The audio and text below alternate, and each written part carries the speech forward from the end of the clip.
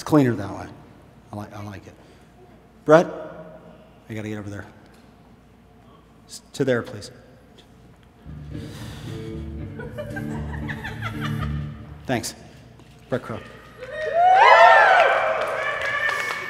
I was, I was reminded of a quote uh, uh, by an author that I love, and I wanted to start the evening by sharing it with you. Uh, I'm going to hope I do it justice. I'm probably going to bugger it up, but give it a shot. It was uh, Babies, welcome to Earth. The summers are they're hot, and the, the winters are well, they're wet sometimes. On the outside, you've only got about 100 years. And all the time I've spent here, I've only found one actual rule. Babies, you have to be kind. It's uh, Vonnegut. And I love the idea. I love the idea that there's an orientation for the human race or anyone who wants to join it. Because I don't know about you, but this whole being a member of the human race thing is complicated. It's, it's hard. And there are there are moments, you know, any journey, I, you know, it doesn't matter if you're talking about theater or real life, you know, any journey you're on. There are times when you're doing a thing that you're doing, but the truth is you don't know what the hell you're doing at all. For example. But I realize now a lot of people are looking at me, and I've been, I've been at this a little while. I mean, I've been kind of working my way through this, and yeah, I might, I might look like I know what I'm doing, which is awesome. But I'm guessing, and I'm, I'm informed by all the experiences that got me here, and that's great, and that's exciting. But I'll tell you the truth, I have screwed it up plenty. Uh, you know, I, I, I, didn't start by calling myself a clown. Actually, a, a, a guy who's much more wise than I am in, in the world, ways of the world and much more uh, classically trained called me a clown for the first time. And so I said, that's probably a good warning label. So I wore it. Thank you for that courtesy laugh. It meant a lot. It didn't hurt that it was so quiet in here. I'll continue if that's okay. Thank you. I can't remember. Oh, right. So, good warning label. And now I get to do neat things like, like work with kids. And the neat thing about that is I work with troubled kids, which is to say kids that are a lot like I was. I, they came from backgrounds that were, it's kind of hard. You can't skate around it, can you? They, they kind of sucked. Uh, we, can, we can pretend, we can say, oh, it was great, and uh, not always, not for everyone. Some of us were lucky, and that's awesome. But uh, I got to do this, and I got to be very carefully trained because, again, when I started doing this, I didn't know, I didn't know what the hell I was doing. Um,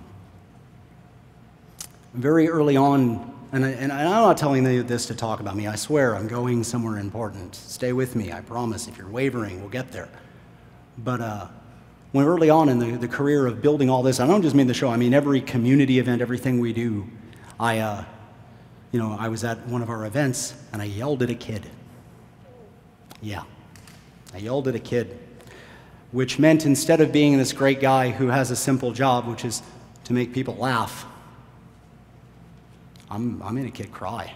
That was the start of my career. And uh, the reason why I, I rambled on and tell you that is because I'm standing up here now after a lot of training and a lot of wisdom and a lot of hard learned lessons. I like to pretend I can just wave all that away and just move on to the good stuff. Can't do it. You can't, you can't ever. Now, I'm not gonna, I'm not gonna lie to you. I'm not gonna say that was my Bruce Wayne moment where I decided to become something bigger than I am. I'm not gonna say that. But I'll say it got me thinking because I realized what I did was a thing I just didn't want to do. I may have made another me. Not me now, me who I was, pissed off and angry. And now, uh, you know, maybe there's some people in the world, some kids in the world who think I'm the scary clown who doesn't like, doesn't like little kids. Uh, the truth is, I like kids. I, I don't, you know, I don't, I don't know. They scare the hell out of me because they can see through all of this. I mean, there's a lot of cool artifice and costume. They see through all that. They look you right in the eye and they know who you are. They know exactly what you're about. These days, I'm lucky. They look me in the eye and they look at me and wonder because they go, wow, you're really screwed up and you got big. Maybe that's hope for me, which is nice. I think that's what they're saying. I mean, it may not. I, it doesn't matter where I go. It doesn't matter if I'm doing like this or I'm just walking down the street. Someone, some kid somewhere is, is looking at me now. And all I can think now in the back of my head is, don't screw up. don't, don't mess it up because you may be the first clown they ever see, may end up being the last. Well, like I said, I can't kick dirt under the rug of that. I can't pretend it didn't happen in the past. What I can say is that I chose to learn from it. And the reason why I bring it all up and bring it all full circle for you is tonight you're going to see people. They're going to get up on this stage. And I got news. I screwed up in a really bad place. It doesn't matter that I screwed up because a kid was endangered of their own actions and I ran in there to save the day. It doesn't matter. I still was, I did the wrong thing. I absolutely did the wrong thing. But I didn't have a safe environment to screw up. So I screwed up as best I could and tried to learn from it as best I could. Places like this are essential to creativity because I've got news. This place is made out of screw ups. Everything we've done is screwing up. And it means that when we have a bad day, well, we're surrounded by people who go, okay, some days were bad. Okay.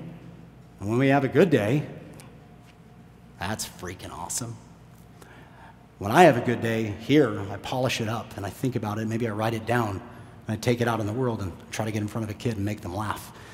Because I like to think my superpower is making, making kids laugh. The truth is, my superpower is probably closer to I make pretty girls cry. That was an awkward silence, wasn't it? wasn't that a dark moment? People are like, oh, you know, I can see that. I'm not going for sympathy, I'm going for honesty, and it's naked and hard. But when it, when it, yeah, that's the good stuff right there. That's the good stuff because when I screw up a story, or when I, I lose my cool and we have a real stupid moment, I know I'm surrounded by friends. Tonight, when the people come up here, when they do good, cheer for them because we all need that. Our egos, this hat is extra large, so there's room for my ego in it. But the performers need it too. And most of all, if they screw up, cheer for them twice as loud because let's face it, that's when they need it most. I'm so glad I have a place like this. I'm so glad I get to share it with you. Welcome, one and all, to the place we call the open stage.